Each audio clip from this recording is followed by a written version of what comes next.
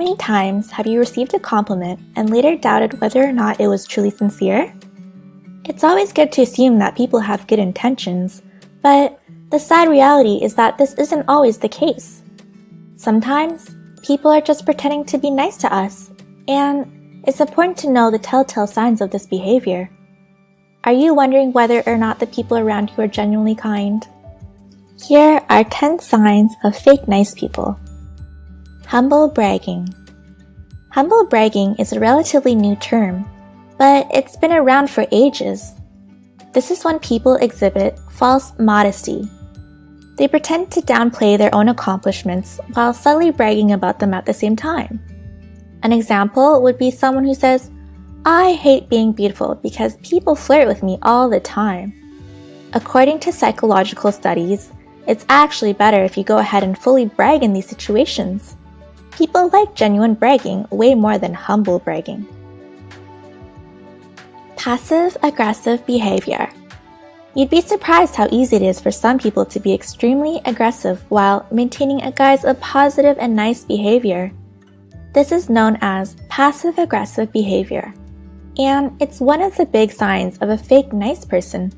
According to research, this behavior is common with people who have suppressed their rage and want to maintain civility and sophistication. When they do let their anger out, however, they can only do so by being passive aggressive. For example, someone might give you a compliment, but it seems rather sarcastic and backhanded. Ghosting Another big sign of fake nice people is ghosting. This is when people completely fall off the radar, refusing to answer your calls or reply to your texts. Ghosting often occurs right after the relationship is seemingly going pretty well. The other person might even seem nice and polite. Then, all of a sudden, they completely cut you out of their lives. At this point, it becomes obvious that their nice behavior was just a big act. Crocodile tears. The phrase crocodile tears is used to describe people who fake emotions, usually sadness and remorse. We see it all the time with politicians and well known public figures, so how do you spot crocodile tears? Research has shown that people faking emotions like remorse and sadness tend to exaggerate these emotions. They also show a wide range of different emotions which don't always make sense. For example, they might switch suddenly from being sad to being hopeful. How to spot a fake smile. Fake nice people are obviously very likely to show off a fake smile. But how do you tell the difference between their smiles and real smiles from genuinely happy and nice people? According to psychologists, real smiles almost always use more facial muscles. Specifically, you should be on the lookout for wrinkles around the eyes. These are key signs of a real smile. Fake nice people can't listen. Genuinely nice people are always ready to lend an ear. No matter what you're going through, they can sit and listen to what you have to say. Fake nice people might have a hard time doing this, however, because they're usually very self-centered people. To put it simply, it's all about them. Fake nice people might act the part, but they'll try their best to sway the conversation towards topics that involve them, not you.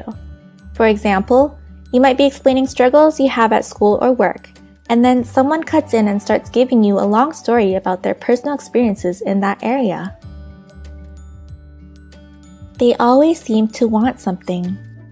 There's usually a reason behind why fake nice people are acting so kind and considerate.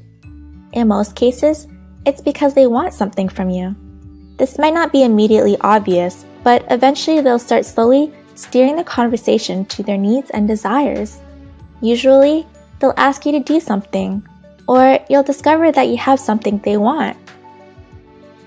They're only nice to people who have power. Another big sign of a fake nice person is that they only act in a positive way towards those with power.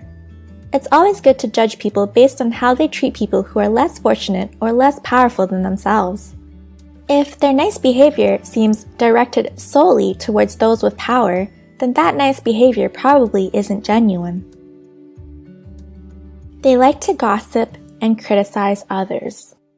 It's always easy to laugh at other people's expense, and you might even be fooled into thinking that nice people do this as well.